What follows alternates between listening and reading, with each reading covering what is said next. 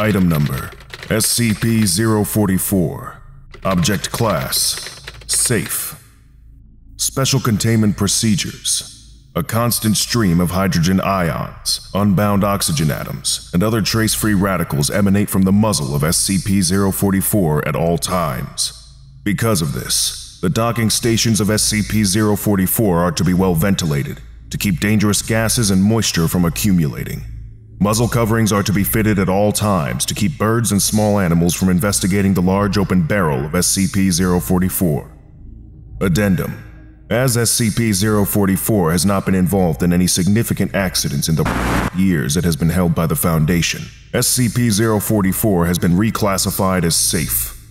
Must I really define significant incidents? If containment procedures and standard safety protocols are followed, 44 appears to be no more dangerous than any other big gun. No, the bear incident does not count.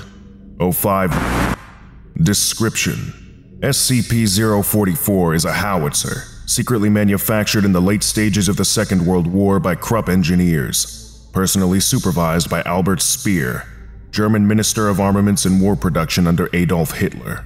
SCP-044 is unique not only because of its size, 251,000 kilograms or 251 metric tons, but also because it fires unconventional artillery using an atypical delivery method.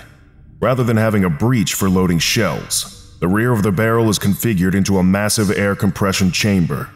Any object or pile of objects that fit may be loaded into SCP-044's muzzle to be used as ammunition. Because of its size, SCP-044 must remain rail-mounted and requires two freight locomotives to move. Researchers believe that SCP-044 weakens molecular and atomic bonds in any material loaded into its muzzle. However, the method by which SCP-044 affects molecular bonds is not known, due primarily to the numerous complex mechanisms that compose the housing and workings of SCP-044. In fact, some mechanisms appear useless and seem to do nothing other than spin or make noise, even when SCP-044 is not supplied with power.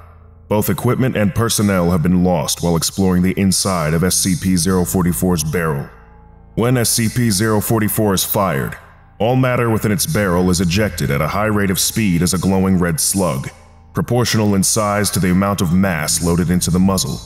Upon striking a solid object or the ground, the slug explodes with a yield proportional to the mass of the original ammunition, at no less than a percent mass to energy conversion rate.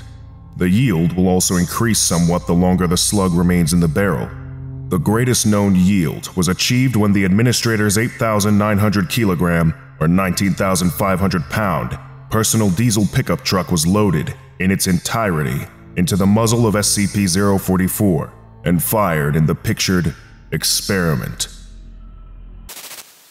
Lesson complete. If you missed the previous orientation, go watch SCP 043, The Beatle, right now.